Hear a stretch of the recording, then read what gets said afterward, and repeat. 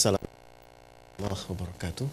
الحمد لله والصلاة والسلام على رسول الله وعلى آله وصحبه وموالاه.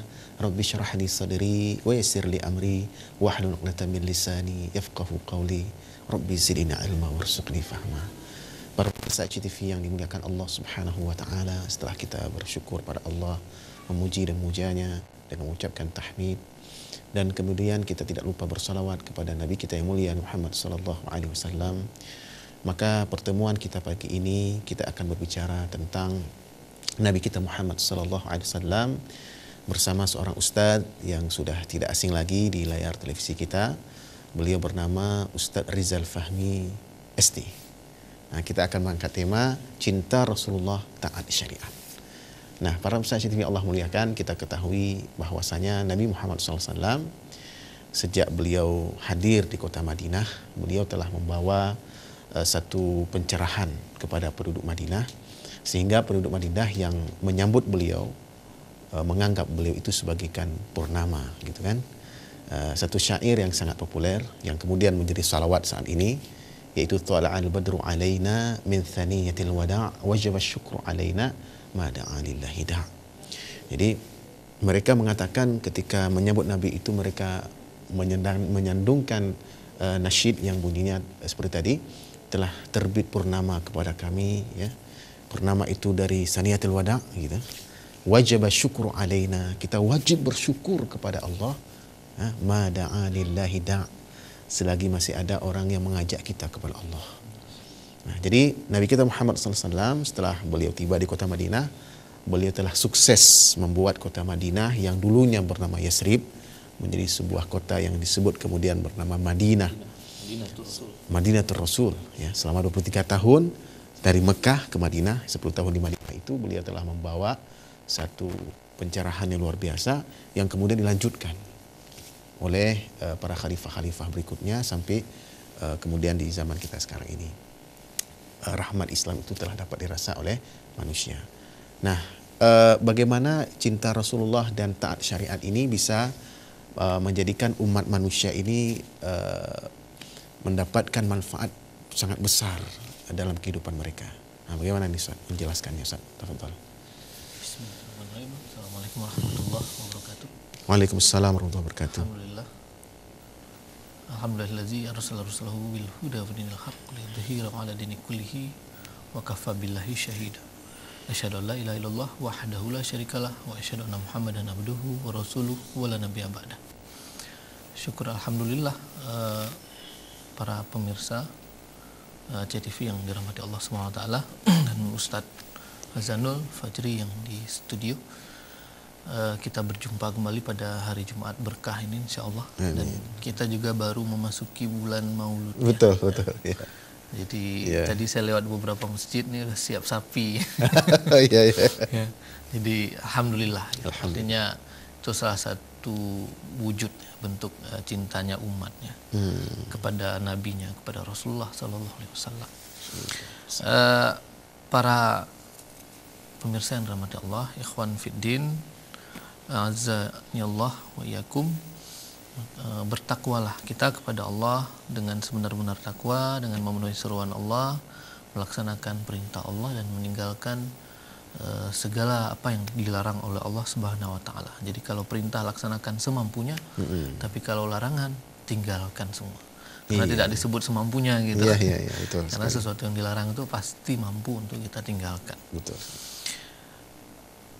Mumpung uh, ini hayat masih dikandung badan, insya Allah hidup kita akan dipenuhi dengan keberkahan apabila senantiasa kita Eh, bersyukur atas rahmat dan nikmat yang Allah SWT berikan kepada kita. Para uh, pemirsa yang dirahmati Allah, saudara-saudaraku kaum muslimin, maka uh, pertanyaannya kemudian bagaimana cara kita menjadi orang yang bertakwa? Tidak ada lain kecuali dengan mengikuti Rasulullah SAW. Betul. Ya. Dengan mengikuti apa yang dibawa oleh Rasulullah SAW. Wa ma atakumullah fakhuzuhu wa manahakum wa ma atakum rasul wa ma atakum rasul fa- fakhudhu wa ma nahakum anhu fantahu. Apa-apa yang dibawa oleh Rasul ambillah dan apa yang dilarangnya tinggalkan. Iya. Eh, para eh, pemirsa yang dirahmati Allah SWT sungguh kita dianugerahi sebuah nikmat yang sangat besar oleh Allah Subhanahu wa taala yakni dengan eh, datangnya seorang rasul yang mulia betapa eh, saking mulianya itu Allah sendiri itu dan para malaikat bersalawat untuk beliau ya. di dalam ayat Allah sebutkan innallaha wa malaikatahu yusalluna 'alan nabi Ya ayyuhalladzina amanu sallu alaihi wa sallimu taslima. Wahai uh, sungguh Allah dan para malaikat berselawat untuk Nabi, hai orang-orang yang beriman, berselawatlah kalian atas Nabi dan ucapkan salam penghormatan kepadanya. Para pemirsa yang dirahmati Allah, ayat ini bermakna Allah memberkahi Nabi Muhammad SAW. Sementara para malaikat senantiasa memohon ampunan untuk Allah, untuk Rasulullah, untuk beliau. Maka sungguh aneh bila ada manusia hari ini, bila ada di antara kita hari ini yang mengaku mengikuti Nabi tapi tidak mau kemudian memuliakan beliau. Iya. Tidak mau kemudian mencintai beliau, tidak mau kemudian mentaati apa yang telah beliau bawa. Nah, ini sungguh-sungguh aneh sekali. Apalagi eh, baru-baru ini ada orang-orang yang eh, kita tahu apa kita tidak tahu apa maksudnya. Apakah itu hanya untuk kepentingan eh, apa apa politik ataupun hanya cari kehebohan biar nanti dia jadi sorotan. Ya, salah satunya ketika menyebut bahwa masjid itu tempat eh, sarangnya radikalisme. Nah, gitu. Ini kan luar biasa gitu. Padahal Rasulullah menyuruh kaum muslimin untuk senantiasa ke masjid, ya, untuk senantiasa menunaikan eh, sholat berjamaah di masjid, untuk senantiasa bermusyawarah di masjid. Ini ketika dikatakan seperti itu kan ingin ingin menuduh seakan-akan masjid itu tempat kemaksiatan berlangsung. Nah, ini kan luar biasa, jahat sekali. Jahat sekali. Ya. Ditambah lagi ada eh, partai politik yang minggu lalu juga bikin kehebohan dengan kalau salah saya ketika mengatakan bahwa eh, mereka tidak akan mengusung atau mereka menolak perda-perda syariah yang dilatari oleh agama gitu. Padahal eh, ketika kita berbicara Islam maka kita tidak bisa kemudian meninggalkan apa yang dibawa oleh Rasulullah yakni seperangkat aturan Hmm. seperangkat hukum yang eh, diturunkan oleh Allah untuk keberlangsungan kehidupan umat manusia. Gitu. Ketika apa yang dibawa oleh Rasulullah ini eh, kemudian kita pakai, selamatlah kita, selamatlah umat manusia. Tapi ketika ini ditinggalkan, kita bisa lihat bagaimana kerusakan yang terjadi di darat, di laut. Ya.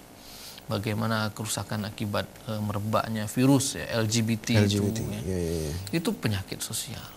Bagaimana kerusakan yang diakibatkan oleh eh, ekonomi yang dibangun di atas landasan riba ya, dan kapitalistik.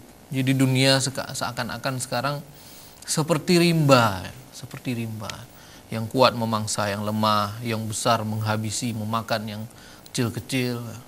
Jadi bagaimana sekarang industri-industri besar, bisnis-bisnis besar yang punya kartel, yang punya eh, link yang cukup luas di seluruh dunia menghancurkan usaha-usaha masyarakat, bisnis-bisnis yang ada di masyarakat kita. Belum lagi ditambah dengan eh, praktek-praktek yang lain ya, yang kemudian semakin membuat kehidupan kita semakin sulit, semakin sengsara. Sekarang beli harga-harga sembako naik semua kan. Bahkan eh, ya harga minyak padahal kita kaya minyak gitu. Bahkan gas itu nomor 7 Hmm. terbesar di dunia. Gitu. Indonesia itu penghasil gas nomor 7 terbesar di dunia. Tapi ternyata kita beli gas dengan harga mahal kan. Iya, iya, iya. Bahkan gas disubsidi pun itu juga dibatasi bawa surat miskin gitu, baru bisa dapat gitu gas subsidi. Belum lagi kemudian eh, yang lain-lain ya kita beli garam di pasar itu garamnya garam impor, impornya dari luar dari Singapura gitu. Ya, ya, ya. Padahal kita negara dengan garis pantai terbesar di dunia. Nah, kaum muslimin yang dirahmati Allah, kembali kepada eh, tema kita, Rasulullah sendiri itu eh, saking cintanya kepada umatnya ketika beliau eh, menjelang wafat, yang beliau ingat adalah ummati. Umati, ya. Ya. Jadi beliau tidak mengingat keluarganya, beliau tidak mengingat dirinya malah yang beliau ingat adalah kita umatnya oleh karenanya betapa eh, apa namanya sangat-sangat naifnya kalau ada orang muslim yang mengaku umat Muhammad tapi tidak mau mencintai beliau tidak mau memuliakan beliau dengan melaksanakan apa yang beliau contohkan sunnahnya. Gitu. sunnah dalam artian tuntunan tuntunan Rasulullah SAW Rasulullah juga pernah ketika di Madinah itu sampai ketika terjadi eh, kelaparan di Madinah karena karena persoalan sembako itu Rasul kemudian menjadikan kurma Madinah yang nggak dimakan oleh orang-orang eh, Madinah itu kemudian beliau makan gitu, Oke, supaya baik. orang Madinah mau makan. Ya. Baik Ustaz, kita lanjutkan setelah Baik. kita ikuti dulu pesan-pesan berikut ini.